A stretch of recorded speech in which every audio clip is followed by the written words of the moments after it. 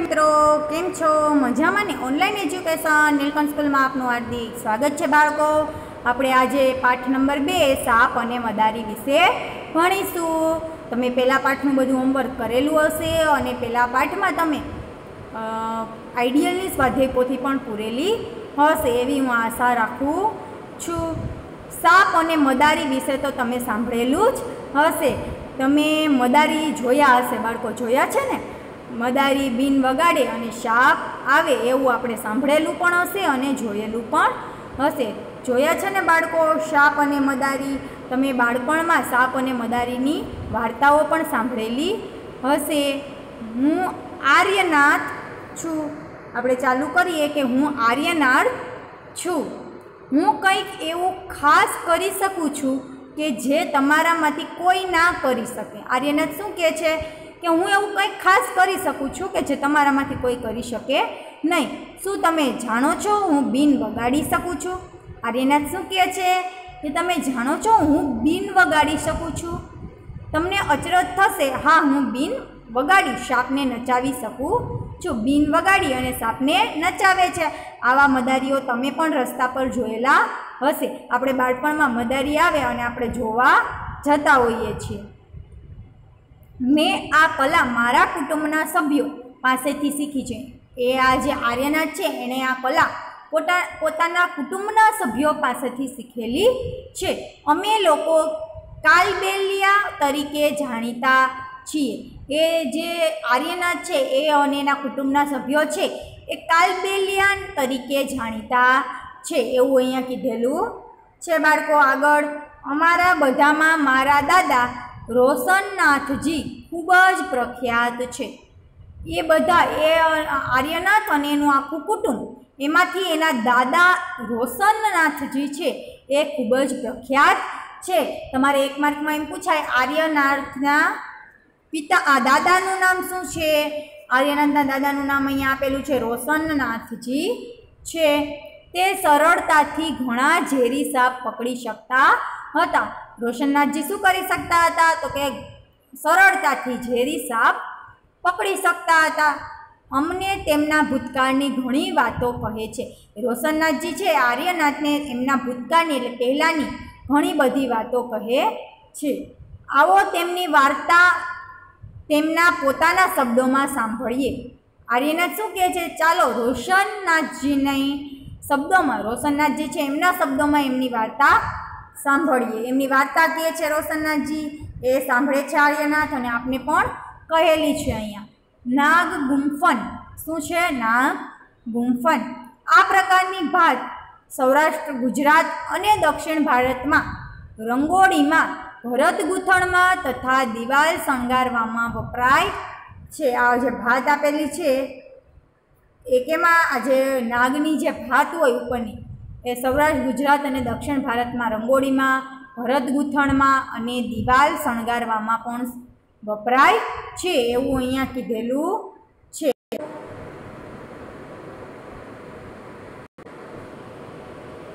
દાદાજીને યાદ છે, એટલે કે દાદાજી, આર્યનાથના દાદાજી છે, એને યાદ છે. શું? તો કે ભૂતકાળની એની વાતો.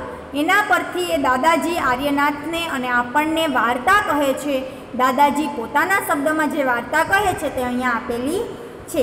મારા દાદા અને પરદાદાના સમયથી અમે મદારીના વ્યવસાય સાથે સંકળાયેલા છીએ. દાદા શું કહે છે?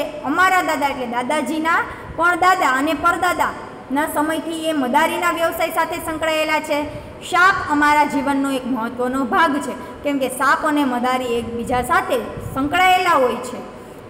અમે સાપને વાંસની ટોપલીમાં લઈ એક ગામથી બીજા ગામ ફરતા. તમને એવો પ્રશ્ન પૂછે, પૂછવામાં આવે કે મદારી છે એ સાપને કેવી રીતે લઈ જાય? તો કે વાંસની ટોપલીમાં અહીંયા આપેલું છે, વાંસની ટોપલીમાં લઈ જતા હતા. બરોબર?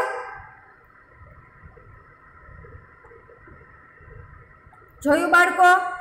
એક ગામથી બીજા ગામ ફરતા અને જ્યારે ગામમાં ઊભા રહેતા ત્યાં અમારી આજુબાજુ ટોળું થઈ જતું.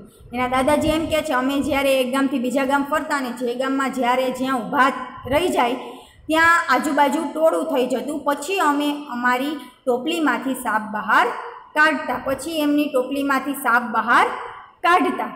અહીંયા જો એક મદારી અને સાપનું ચિત્ર આપેલું છે બાળકો.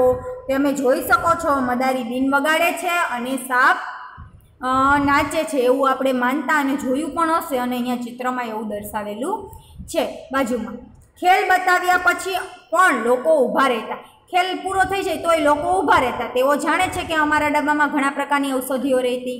એટલે કે જે આ આર્યનાથના દાદાજી છે, એ ડબ્બો લઈને આરે જતા, એમાં ઘણા પ્રકારની ઔષધિઓ હતી. એ ઔષધિઓ કેમાંથી બનાવતા હશે બાળકો?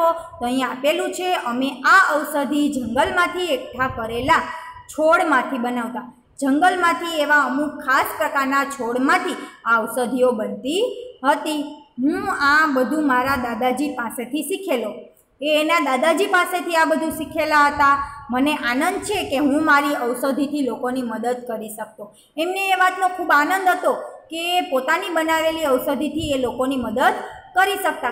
કારણ કે એ સમયમાં, એટલે ઘણા સમય પહેલાં, ઘણા વર્ષો પહેલાં ડૉક્ટર અને હોસ્પિટલ ખૂબ જ દૂર હતા. એટલે કે પહેલાંના સમયમાં આપને ખબર જ છે, ડૉક્ટરની સંખ્યા અને હોસ્પિટલોની સંખ્યા ખૂબ જ ઓછી હતી. અને ડૉક્ટર પાસે જવા, હોસ્પિટલે જવા માટે ખૂબ જ દૂર જવું પડતું હતું. તેના બદલામાં લોકો અમને થોડા પૈસા અને અનાજ આપતા.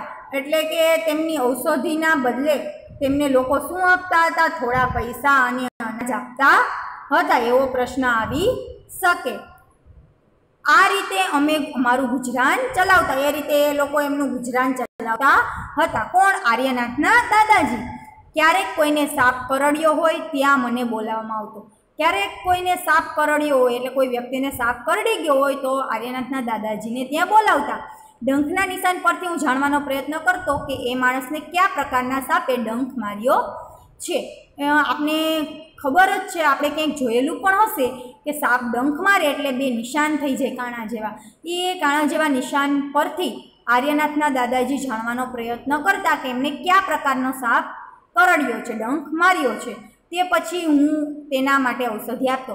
એ ડંખના નિશાન જોઈ અને પછી ઔષધિ આપતા. પરંતુ હું હંમેશા સમય પર મદદે જઈ શકતો ન હતો. એ સમય પર મદદ કરવા પહોંચી શકતા ન હતા. તમે જાણો છો કે અમુક સાપના ડંખથી તરત જ મૃત્યુ થાય છે. એ આપણને પણ ખબર છે, અમુક ઝેરી પ્રકારના સાપ હોય તો એ કરડે કે ડંખ મારે એટલે તરત જ તે વ્યક્તિનું મૃત્યુ થઈ જાય છે. પરંતુ બધા સાપ ઝેરી હોતા નથી. બધા સાપ સરખા નથી હોતા. અમુક સાપ ઝેરી હોય છે, અમુક સાપ ઝેરી હોતા નથી. જો ઝેરી સાપ હોય તો તરત જ મૃત્યુ થાય છે અને અમુક ઝેરી સાપ નથી હોતા તો દવાથી એમનો ઈલાજ થઈ શકે છે. ક્યારેક ખેડૂતો સાપ સાપની બૂમો પાડતા મદદ માગવા આવતા. હું તે સાપ પકડી લેતો. શું કહે છે? ખેતરમાં તો ઘણા બધા સાપ જોવા મળતા હોય. ક્યારેક ખેડૂતને સાપ જોવા મળે તો સાપ સાપ એમ બૂમો પાડે અને મદદ માગે. ત્યારે હું સાપ પકડી લેતો. તો આર્યનાથના દાદાજી ખેતરમાં જઈ અને એ સાપને પકડી લેતા છેવટે તો હું બાળપણથી સાપ પકડવાનું કામ કરતો હતો. છેલ્લે એટલું જ કહે છે વાર્તામાં કે હું બાળપણથી જ સાપ પકડવાનું કામ કરતો હતો. ઓ, તે દિવસો કેવા સારા હતા. એમને એ દિવસો યાદ આવે છે બાળપણના કે કેવા સારા હતા. અમે લોકોને ઘણી રીતે મદદ કરી શકતા. એ લોકોને ઘણી બધી રીતે મદદ કરી શકતા હતા. અમે તેમનું મનોરંજન પણ કરતા. ત્યારે મદારી બની અને લોકોનું મનોરંજન કરતા. તે અત્યારના સમય જેવું ન હતું તેમાં, જેમાં મનોરંજન માટે લોકો ટેલિવિઝન જોતા હોય છે. આપને ખબર જ છે, અત્યારના સમયમાં લોકો મનોરંજન માટે ટીવી એટલે કે ટેલિવિઝન જોતા હોય છે. પહેલાંના સમયમાં આવું નહોતું. અલગ અલગ પ્રકારના ખેલ જોતા લોકો, જેમ કે મદારીના ખેલ જોતા સાપને જોતા, આ બધું જોઈને મનોરંજન કરતા હતા. જ્યારે હું મોટો થયો ત્યારે મારા પિતાજીએ મને સાપના ઝેરી દાંત કાઢતા શીખવ્યું. આર્યનાથના દાદાજી એમ કહે છે કે હું જ્યારે મોટો થયો ત્યારે મારા પિતાજીએ મને સાપના ઝેરી દાંત કેવી રીતે કાઢવા તે શીખવ્યું? તેમણે મને સાપની ઝેરની નળી કેવી રીતે બંધ કરવી તે પણ શીખવ્યું. સાપના જે ઝેરની નળી હોય એ કેવી રીતે બંધ કરવી એ પણ એમને શીખવવામાં આવ્યું હતું. હવે બાળકો, આગળનો પાઠ આપણે નેક્સ્ટ લેક્ચરમાં ભણીશું. હવે હોમવર્ક આપી દઉં.